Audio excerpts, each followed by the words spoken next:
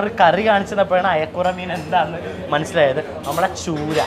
നല്ല ചൂര കഷ്ണം ഉള്ള ഇട്ട് നല്ല മസാലയൊക്കെ പിടിച്ചുള്ള ചൂര കഷ്ണം ഉള്ളതാണ് അയക്കുറ. മീൻ അയക്കുറ.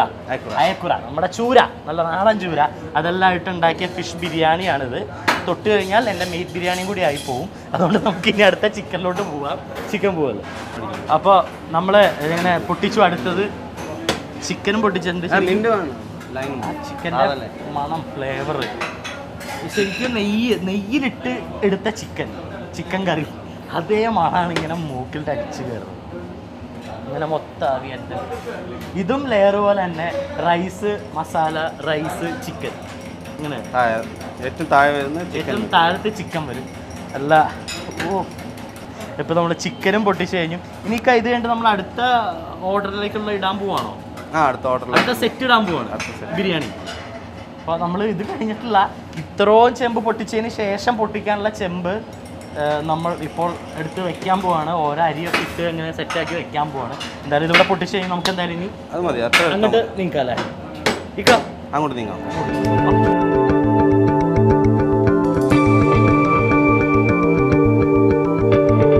അപ്പോൾ നമ്മൾ ഇനി അടുത്തത് ദമ്മ് പോകും ഇടാൻ പോവാണ്. നമ്മൾ ദമ്മിടാൻ വേണ്ടി വന്നേക്കാണ്. ശരിക്കും നോക്കി അടുപ്പ് പഴയ പണ്ട് ഇങ്ങനെ തന്നെ പണ്ടത്തെ രീതി തന്നെ. കാരണം കുറെ വലിയ അടുപ്പ് ഉണ്ടാക്കിയിട്ട് നല്ല ഹൈറ്റ് ഉണ്ട്. പണ്ടത്തെ ചിമ്മിനി. ചിമ്മിനി. പോലെ തന്നെ വെച്ചേക്കാം. ഇപ്പോഴും അത് കീപ്പ് ചെയ്യുന്നുണ്ട്. നമുക്ക് ലൈക്കാം നമുക്ക് ദമ്മ് ഇടാം. സെറ്റ് ചെയ്യാം. ആദ്യം അത് അതെന്താ നമ്മൾ അത്. മീറ്റ് ആണ്. മീറ്റ് മീറ്റ് ഇറച്ചി. മീറ്റ് ബീഫ് മസാല ബീഫ് മസാലയൊക്കെ ഇട്ട് മസാല ഇട്ടിട്ട് സെറ്റാക്കി വെച്ചാൽ അപ്പോൾ അതിൽ തന്നെ നമ്മൾ പൊടിച്ചപ്പോൾ ഏറ്റവും ലാസ്റ്റാണ് ഇറച്ചി കണ്ടത്. മീറ്റ് ഇപ്പോൾ മസാല ഒക്കെ ഇട്ടൊന്ന് സെറ്റ് ചെയ്ത് വെച്ചേക്കാണ്. പിന്നെ അടുത്ത് നമ്മൾ ഇതിലേക്ക് ഇതിലേക്ക് റൈസ് ഇടും. റൈസ് ഇടാൻ പോകും ഇപ്പോൾ റൈസ് നമ്മൾ എടുത്ത് അങ്ങോട്ട് ഇടാൻ പോവാണ്. ഇത് ഒന്ന് റൈസ് വേവിച്ചതാണല്ലേ? ആ ഇതൊന്ന് ഒരു ഹാഫ് ബോയിൽ ഹാഫ് ബോയിലിനൊക്കെ കുറച്ചുകൂടി കുറച്ചുകൂടി ബോയിലാക്കി എന്നാൽ ഹാഫ് ബോയിലും അല്ല ഒരു കുറച്ചുകൂടി കൂട്ട കൂട്ടി ബോയിൽ ചെയ്ത് വെച്ചാണ് റൈസാണ് ബാക്കി ഇതിന്റെ അകത്തുനിന്നാണ് അതിന്റെ ഫുൾ വരുന്നത്. ഇതിനകത്ത് തക്കാളി ചെറിയ ചെറിയ സാധനങ്ങൾ പട്ടാക്കി. ഒന്ന് വേവിച്ച് വെച്ചേക്കുന്നത് റൈസ് ഇട്ടു. അപ്പോൾ നമ്മൾ സെക്കൻഡ് ലെയർ ആയിട്ട് ഇങ്ങനെ റൈസ് ഇട്ടേക്കുവാണ്. അപ്പോൾ അതൊരു ലെയർ ആയി. ലെയർ ആക്കി വെച്ചിട്ടുണ്ട്. അപ്പോൾ നമ്മൾ അടുത്ത ലെയർ ഇടാൻ പോണ ഇതാണ്. ഇത് എന്ത് കൂട്ടാന്ന് എനിക്കറിയില്ല. പക്ഷേ നമ്മുടെ മല്ലിയിലൊക്കെ ഉണ്ട്. കേട്ടോളൂ. ഇതെന്താ നമ്മൾ കൂട്ടത് ശരിക്കും? ഇതിൽ ഉള്ളി റോസ്റ്റ് ഉള്ളി റോസ്റ്റ് എടുത്ത ഉള്ളി. പൊരിച്ചെടുത്തല്ലേ പിന്നെ മല്ലി. മല്ലി. പിന്നെ ഞാൻ നേരത്തെ പറഞ്ഞില്ലേ ഞങ്ങളൊരു ബിരിയാണി മസാല മസാല. നമ്മുടെ തന്നെ സ്വന്തം മസാല. അത്. ഇതെല്ലാം കൂടി മിക്സ് ചെയ്തെടുത്താണ്. അപ്പോൾ അത് മുന്തിരി അല്ലേ പിന്നെ കിസ്മിസ്. കിസ്മിസ് എല്ലാം കൂടി ഇട്ട് നന്നാക്കി അങ്ങ് കശക്കി വെച്ചേക്കാണ്. അതിപ്പോൾ നമ്മൾ അടുത്ത ലെയർ ഇട്ടിട്ടുണ്ട്. അത് കഴിഞ്ഞിട്ട് വീണ്ടും റൈസ് അടുത്ത ലെയർ റൈസ് ഇട്ടു. ആണെങ്കിൽ ലെയർ വൈസ് ഇങ്ങനെ ഇട്ട് തട്ട് തട്ടാക്കിയിട്ടേക്കോ ബിരിയാണി.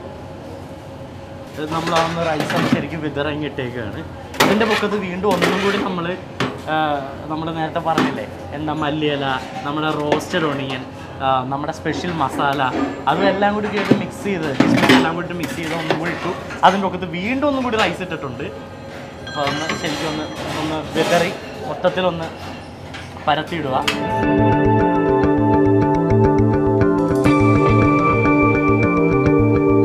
അപ്പോൾ നമ്മൾ ആ ഒരു ലെയർ ഇട്ടു നമ്മൾ നെയ്യ് ഒഴിക്കാൻ പോവാം. നെയ്യ് ആയിട്ടില്ല. നെയ്യ് ഒഴിക്കാൻ വേണ്ടി അപ്പോൾ നിരത്തുവാണ്.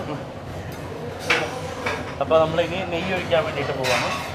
നല്ല ശുദ്ധ നെയ്യ്. അപ്പോൾ അത് വീണ്ടും ഒന്ന് ഇടാൻ പോവാണ്. കനൽ മൊത്തം കനലാണ്. എല്ലാ അടുപ്പിലും സംഭവങ്ങളുണ്ട്. ഗ്യാസ് അല്ലല്ലോ. അടുപ്പാണ്. അതിന്റെതായ വ്യത്യാസമുണ്ട്.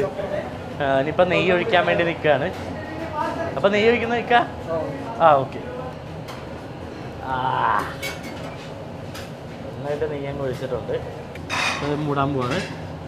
മൂടി അപ്പൊ നമ്മൾ ബാക്കിയെല്ലാം സെറ്റ് ചെയ്ത് കഴിഞ്ഞു. ഇനിയിപ്പോ നമ്മൾ കനൽ അടുത്ത അടുപ്പിൽ നിന്ന് എടുത്ത് ഇതിന്റെ പൊക്കത്തോട് ഇടാൻ പോവാണ്. ഇടാ നമുക്ക് ഇടാം. അപ്പൊ കനൽ ഇട്ടോളൂ ഇട്ടോളൂ. അപ്പൊ കനലെടുത്ത് ആ അതിന്റെ പൊക്കത്തോട്ട്. നല്ല നീറുന്ന എരിയുന്ന കനലാണ്.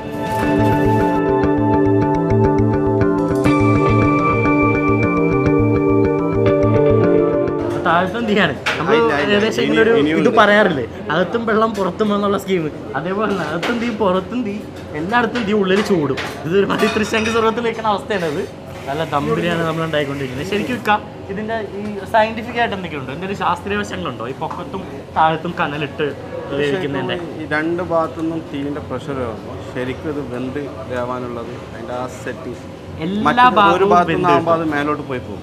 അപ്പൊ മേലെ നിന്നും താഴെ നിന്നും വന്നിട്ട് ഇത് ഇങ്ങനെ പ്രഷർ കൊണ്ട് മൊത്തത്തിൽ ശരിക്കും നന്നായിട്ട് വെന്ത് കിട്ടും. അല്ലേ? അതാണ്. അതാണ് എന്റെ ഗുട്ടൻസ് അപ്പൊ അതെല്ലാം ആയോ? സെറ്റ് ചെയ്ത്? ഇനി ഇത് കത്തണം. ഇത് കത്തണം. അത് കത്തിയും കൂടി കഴിഞ്ഞാൽ നമ്മുടെ ഈ ദമ്മ് ഇന്ന് സെറ്റ് ആയി. പരിപാടി കഴിഞ്ഞ്. പിന്നെ നമുക്ക് അപ്പുറത്ത് ഇനി അടുത്ത് നമ്മൾ എന്താ പരിപാടി? ഇനി ബാക്കി സാധനങ്ങളൊക്കെ എല്ലാം കാണാം. അത് കാണണം. ഇതിപ്പോ എന്തായാലും കത്തും. ഇപ്പൊ കത്തല്ലേ ഇപ്പൊ ഇപ്പൊ ഇപ്പൊ ശരിക്കും ഇങ്ങനെ കത്തി വരുന്നുണ്ട്. ഈ കനലിൽ കിടന്ന് തന്നെ മൊത്തം കത്തും. ആ ഇരുന്നിരുന്ന് കത്തി കത്തിയാണ് നമ്മുടെ ദമ്മാവണത് അപ്പൊ എന്തായാലും അത് സെറ്റ് ആയി നമുക്ക് ഇനി അടുത്ത സെക്ഷൻ പൊറോട്ട. നമ്മുടെ സെറ്റ് പൊറോട്ട സെക്ഷനിലോട്ട് പോകാനേക്കാം എന്നാലും പൊറോട്ട സെക്ഷനിലോട്ട് പോകാം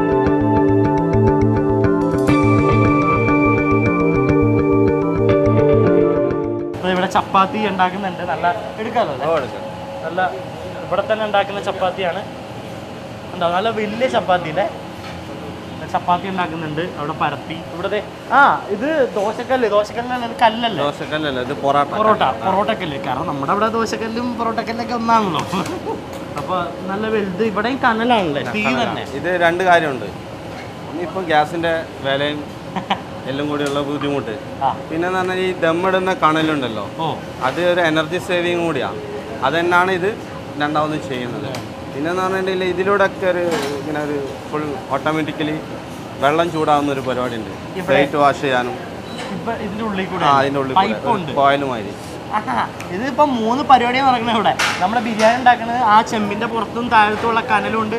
പൊറോട്ട ഉണ്ടാക്കുന്നത് പൊറോട്ട ഉണ്ടാക്കുന്നത് അത് കൂടാതെ അതിന്റെ ഉള്ളിൽ കൂടെ പൈപ്പ് ഉണ്ട്. ഇവിടെ ചൂടുവെള്ളം കിട്ടുകയും ചെയ്യും. അത് നമ്മുടെ പ്ലേറ്റ് നല്ല പ്ലേറ്റ് ഡിസ്ഇൻഫെക്റ്റന്റ് ഒക്കെ ആയിട്ട് സ്റ്റെറിലൈസ് ചെയ്യാൻ വേണ്ടിയിട്ട് യൂസ് ചെയ്യുക. അത് ചൂടുവെള്ളത്തിലാണ് പ്ലേറ്റ് വയ്ക്കുന്നത് അങ്ങനെ പല എനർജി കൺസർവേഷൻ ആണ് ഇവിടെ മൊത്തം നടക്കുന്നത്. എന്തായാലും നല്ലൊരു ബ്രില്യന്റ് ആയിട്ടുള്ള ഒരു കാര്യം തന്നെയാണ്. എന്തായാലും അപ്രീഷിയേറ്റബിൾ കാണിക്കുക ഇതൊക്കെ നമ്മളെ ഫാദറാണ് കാണിച്ചു തന്നത് ഇതൊക്കെ. ഉപ്പ തന്നെയാണല്ലേ കാണിച്ചത്. ആണ്. അപ്പൊ പണ്ടേ മുതൽ ആൾക്കാർ ഇങ്ങനെ ഓരോ എനർജി കൺസർവേഷൻ ചിന്തിച്ചു തുടങ്ങിയിട്ടുണ്ട്. കാരണം അറിയാം വരും കാലങ്ങളിൽ ഇങ്ങനെ ഓരോന്നും നമ്മുടെ പിള്ളേരൊക്കെ അനുഭവിക്കാൻ നമ്മുടെ ഇവിടെ എനിക്ക് പ്രായമില്ല എന്നാലും നമ്മുടെ പിള്ളേരെന്ന് എനിക്ക് പറയാലോ. നമ്മുടെ പിള്ളേർ കൂടി എന്താ അനുഭവിക്കേണ്ടി വരുന്ന പല കഷ്ടപ്പാടുകളുണ്ടാവും അപ്പോൾ എനർജി നന്നായിട്ട് യൂസ് ചെയ്യുക കൺസേർവ് ചെയ്യുക എങ്കിൽ നല്ലൊരു ഫ്യൂച്ചർ ഉണ്ടാവും നമുക്കല്ലേ? ശരിക്കും എനർജി അധികം പോകാണ്ട് നല്ല രീതിയിൽ തന്നെ കിട്ടുമല്ലോ അതേ പൊറോട്ട അടിക്കുന്നുണ്ട് ഒരിക്ക നല്ല നല്ല ചൂട് ഇവിടെ നിൽക്കുമ്പോൾ തന്നെ നല്ല ചൂടുണ്ട്. ഇവിടെ ഇത് കണ്ട? നമ്മുടെ അവിടത്തേക്കാളും പരന്നതല്ല. ഒരു കുമ്പിൾ പോലെ ഇരിക്കുന്ന പൊറോട്ട. എന്താ ചുറ്റി എടുക്കുമ്പോൾ കുമ്പിൾ പോലെ ഇരിക്കുന്ന ശരി. ഇത് ഇപ്പോ നമ്മുടെ മൈദ പൊറോട്ട മാത്രമേ മൈദ ഉണ്ട് ഗോതമ്പുണ്ട് ഗോതമ്പുണ്ട് ഒന്ന് കാണിക്കാവോ? ഗോതമ്പിന്റെ ചുരുട്ട്. ഇപ്പൊ നമ്മുടെ ഗോതമ്പിന്റെ പൊറോട്ടയുടെ ചുരുട്ടാണ് ഇത് അടിക്കാൻ വേണ്ടി വെച്ചേക്കുന്നത്. ഇത് ഗോതമ്പ് സാധാ ഗോതമ്പ് ആക്കാറുള്ളത് കണ്ടല്ലോ ഇതാണ് ഗോതമ്പിന്റെ ഗോതമ്പിന്റെ പൊറോട്ട എടുത്ത് വെച്ചോളൂ. ഗോതമ്പുണ്ട് അതുകൂടെ നമ്മുടെ മൈദ പൊറോട്ട. നമ്മുടെ കേരളീയരുടെ മെയിൻ ഫുഡായ പൊറോട്ട. പൊറോട്ട പൊറോട്ട വേണം. കാരണം എനിക്ക് വേണം. ഇവിടെ പത്തിരിയും വെള്ളപ്പൊക്കെ ഉണ്ട്. ആ കാരണം അത് നമ്മുടെ ഇത്. പക്ഷെ ഇപ്പൊ യൂത്ത് എവിടെ പോലെ ചേട്ടാ പൊറോട്ടം ചേർ പൊറോട്ടം ചേർ പൊറോട്ടം ചേർ. ഇതെല്ലാം പറയാറുള്ളൂ. അതുകൊണ്ടാണ് പറഞ്ഞാൽ അങ്ങനെയല്ല ഇപ്പൊ ശരിക്കും മാറുന്നുണ്ട്. പൊറോട്ട ഇപ്പൊ ആൾക്കാർ യൂസേജ് കുറച്ചിട്ടും ഉണ്ട്. പക്ഷേ പൊറോട്ട നല്ല ടേസ്റ്റ് ഫുഡുമാണ് എല്ലാം ഉണ്ട്. അപ്പോൾ അതെ പൊറോട്ട സെക്ഷൻ ഇതാണ്. എല്ലാം ഓരോ സെക്ഷനാണ്